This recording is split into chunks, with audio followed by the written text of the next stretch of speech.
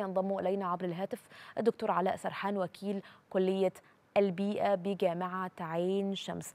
برحب بك يا دكتور. أهلا وسهلا. حتى الآن كيف ترى مخرجات آه، قمة المناخ في شرم الشيخ؟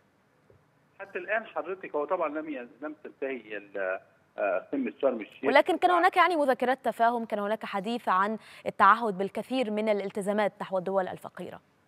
مظبوط حضرتك. طبعا مؤشرات آه، أولية إيجابية للغاية خاصة فيما يتعلق بالجزء اللي تم التوقيع فيه على عدد من البروتوكولات ما بين آه، مصر والاتحاد الأوروبي وبنك ال- آه، الأوروبي لل- آه، للإنشاء والتعمير ومع أيضا ال- ألمانيا ومع طبعا الولايات المتحده فهناك العديد من المبادرات مع دولة الإمارات العربية المتحدة الشقيقة فكان الكثير من المبادرات الخاصة بمصر وأيضا الخاصة بأفريقيا لأن طبعا دور مصر دور محوري ونموذج يحتذى به وبالتالي فما يعني تقوم به الدولة المصرية الآن سيكون له انعكاس طبعا إيجابي على ما سيجري في القارة الأفريقية في السنوات القليلة القادمة إن شاء الله.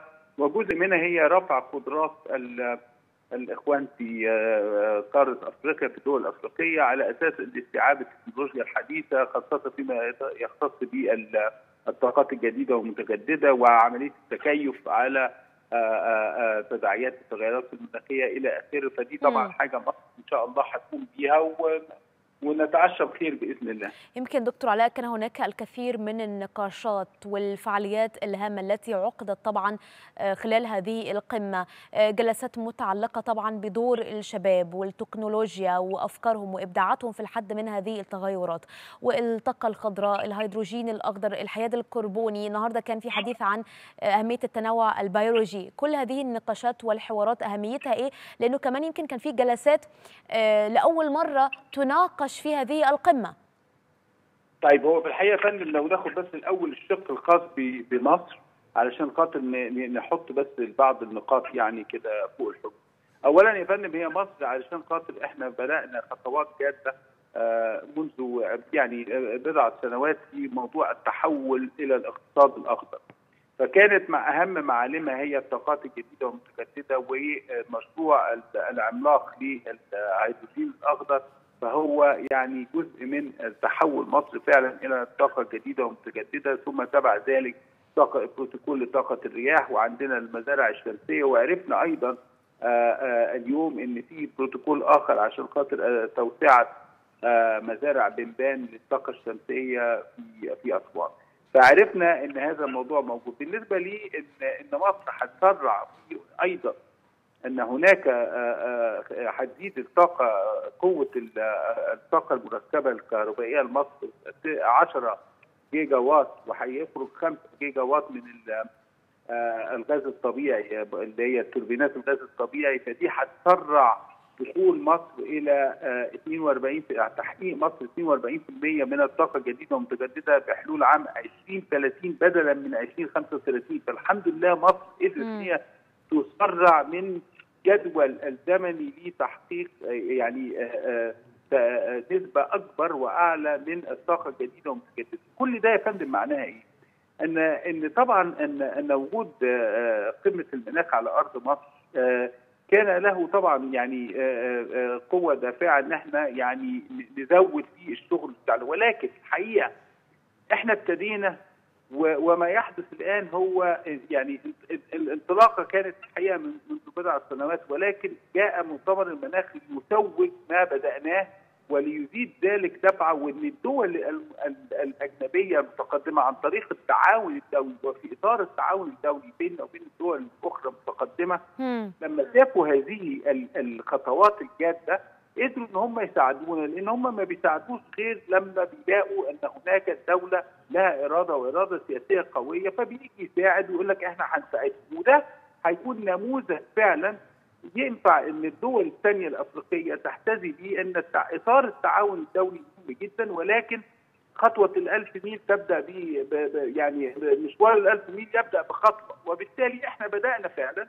وأعتقد إن زي حضرتك ما تفضلت جميع هذه المبادرات هي مبادرات مصرية 100% ولكن وعلى الرغم إن يمكن مصر كمان يعني والدول الإفريقية المساهمة في هذه الانبعاثات أصلا نسبة لا تذكر مقارنة بالدول الأخرى الصناعية التي يعني تساهم بشكل كبير جدا في هذه الانبعاثات.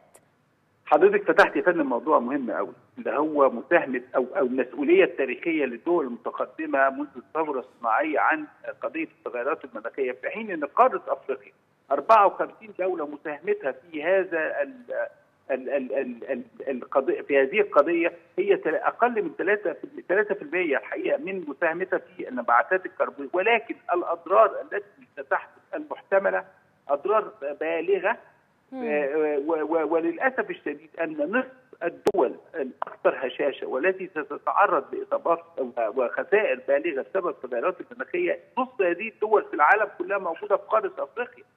عشان كده حضرتك إحنا بنقول إيه؟ ان ان مصر الحمد لله قصة أو أجندة أو ملف العدالة المناخية بنفتحه لأول مرة بشكل رسمي في أجندة قمة المناخ في شرم الشيخ. ودي مهمة جدا لأن حضرتك لما يكون في ضغط من الدول النامية في موضوع الخسارة والضرر والتعويضات دي بتخلي الدول المتقدمة تبتدي عايزة تسرع عجلة التخفيض وعجلة إن إحنا نصل بهذا الكوكب إلى بر الأمان بسرعة ليه؟ حتى لا تتفاقم هذه الأزمة من بالمناسبة يا دكتور علاء تعهد الاتحاد الأوروبي بزيادة خفض انبعاثات الكربون لتصل إلى حوالي 27% بحلول عام 2030 مقارنة ب 55% الحالية. دي طبعا من ضمن التعهدات يعني. مظبوط يا فندم والجي 20 اللي هي الدول الصناعية الكبرى ال 20 برضه نزلت بيان بهذا يعني إن هي هتخفض الانبعاثات وإن كانت لم تفعل مثل الاتحاد الأوروبي إن هي حطت أرقام ولكن قالوا إن هم هيسرعوا فعلا زي ما سيادتك قلتي بالظبط ودي طبعا كلها ليه؟ لأن الزخم اللي موجود والدفعة القوية اللي موجودة وما حدث في الشهور القليلة الماضية من تداعيات خطيرة في سواء في أوروبا أو في باكستان وبنجلاديش خلت أن هناك الدول المتقدمة يعني عايزة تقول إيه؟ ما أنا المشكلة أنا لو ما سرعتش في هذا الموضوع هلاقي أن الدول الناميه حصل عندها مشكلات خطيرة جدا هتعمل لي هجرة مناخية إلى الشمال وأنا مش يعني لا أتحمل هذا وهضطر إن أنا آه تعويضات كبيرة للدول النامية وأنا مش عايز أدفع التعويضات وأنا في نفس الوقت كمان مش عايزه إن يكون لما يحصل أضرار حتى لو ما دفعتش تعويضات ولكن موضوع المساعدات الإنسانية هتروح للدول النامية. طب أنا في غنى عن كل هذا وممكن جدا إن إحنا لو سرعنا موضوع خفض الانبعاثات بسرعة ونحاول إن إحنا نصلح ما أفسدناه من قبل قد يكون هي دي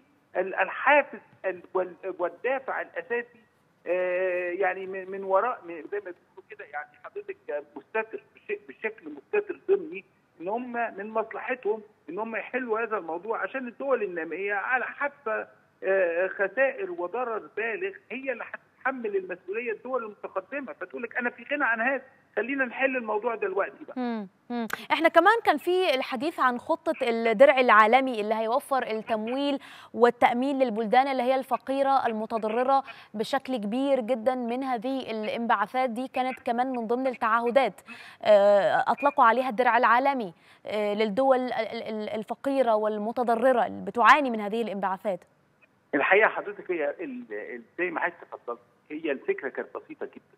إن هذه الدول التي تعاني من الآن من من تداعيات التغيرات المناخية وستعاني أكثر في المستقبل.